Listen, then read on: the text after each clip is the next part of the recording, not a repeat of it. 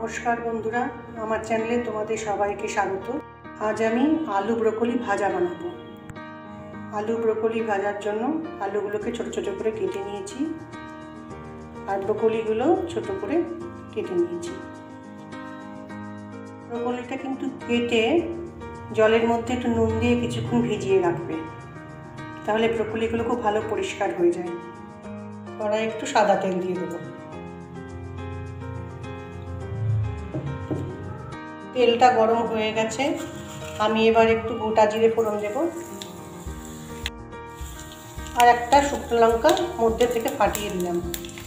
ফোড়নটা খুব সুন্দর করে ভাজা হয়ে গেছে এবং এটা থেকে খুব সুন্দর একটা গন্ধ বেরোচ্ছে এবার আমি এর মধ্যে আলুগুলো দিয়ে দেব।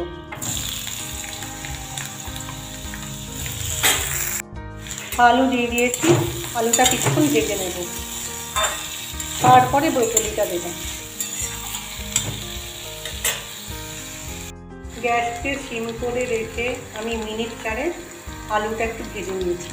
এবার আমি ব্রোকলিগুলো দিয়ে দেবো।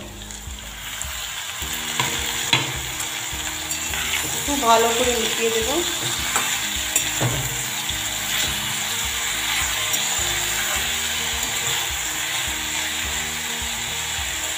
আরও কিছুক্ষণ এভাবে রেখে দিই।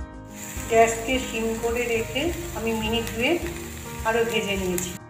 এবার আমি পরিমাণ মতো নুন দেব। আর একটু হলুদ দেব। হলুদ গুঁড়ো একটু দিলাম। আবারও খুব ভালো করে মিশিয়ে নেব।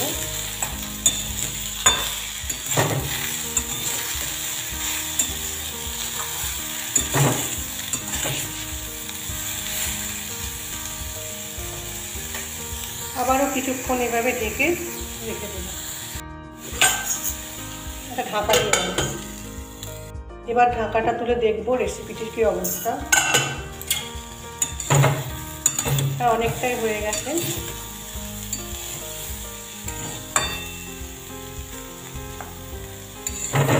আর মিনিট দুয়েক রাখব রেখে নামিয়ে দেবো।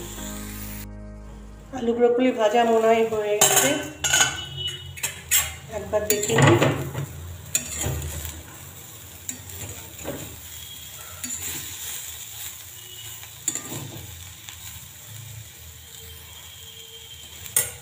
এবার আমি গ্যাসটাকে অফ করে দেব। আলু, ব্রকলি, ভাজা রেসিপিটি এইভাবে বানিয়ে একবার দেখো তো তোমরা।